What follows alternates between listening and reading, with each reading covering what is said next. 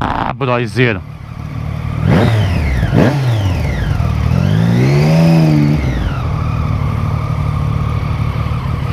Hum. Sem chance.